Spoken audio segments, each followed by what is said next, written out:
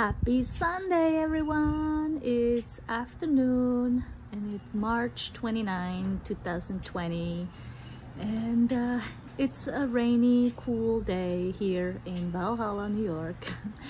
and uh, yeah, I mean, it's supposed to be spring, but I guess spring also needs some water.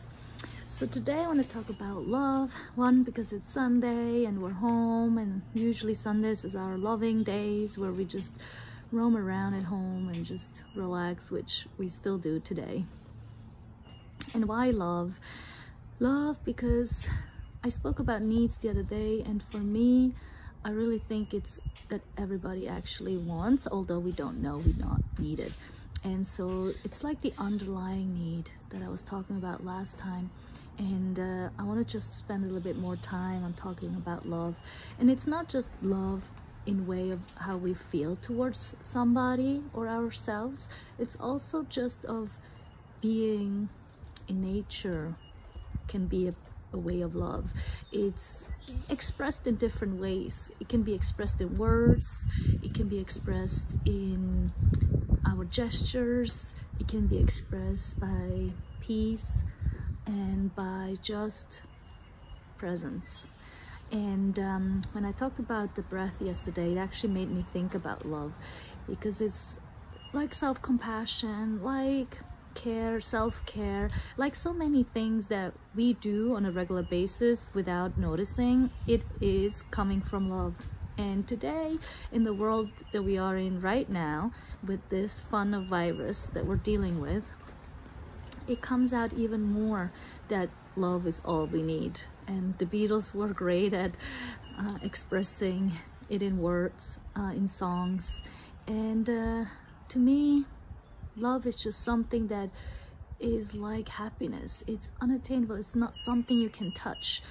You do feel it and you do experience them. It's just nothing that you can put on something. Uh, like yes we can love the things we have we can love the clothes we have the food that we eat we can love all those things but in the end it's not the actual thing we're having it's how it makes us feel so that's why it could be related to anything and so that's why it's, something bigger than ourselves and because it's Sunday and Sunday is being the calm day I wanted to for us to just ask ourselves what and how do I describe love in my everydays. So before we get into our next week of a new week of challenges of homeschooling, of work at home, uh, and all these other new tasks that we have, I would ask, uh, I would like us to just take a minute or a second just to think about what does love mean to me. And by embracing it and by really putting it into words and thoughts that we can bring that up at times when we feel difficulty when we're feeling stressed when we're feeling frustrated or upset. And so in those moments it's when we can remember when we wrote down that word or when we said it a few times to ourselves. So that's what I'd like to ask you is to take the time to maybe even write it down so that when you get to this difficult time to so you can read it out loud uh, how is what is love to you and how do you describe it in your everydays? So you can remind yourself of being love and giving love to others and yourself. All right that's that for today. Happy sunday. Enjoy your families. Bye